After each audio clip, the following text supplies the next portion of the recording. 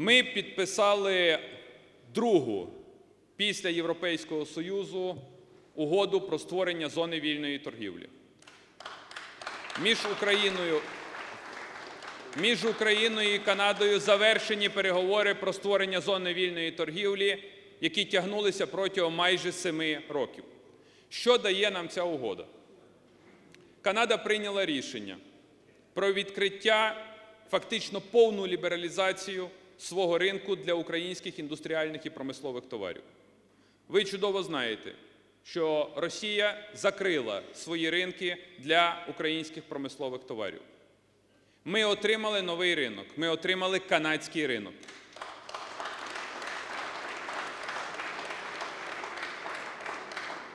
Треба багато зробити для того, щоб модернізувати українську економіку. Тому що відверто так само треба зазначити. Завтра ми не можемо захопити цей ринок, тому що ми відстали в наших технологіях, відстали надовго. Саме для цього в частині угоди передбачена безпосередня технічна допомога для модернізації української промисловості. Чим швидше ми модернізуємо українську промисловість, тим швидше ми зайдемо як на канадський, так і на європейський ринок. Також в рамках перемовин е, було прийнято рішення про асиметричне застосування відповідних правил зони вільної торгівлі.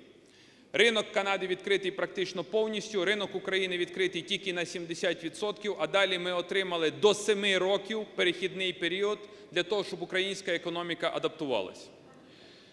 Е, Канадійці так само допомагають нам в реформуванні української поліції, і було виділено 5 мільйонів канадських доларів на реформування поліції.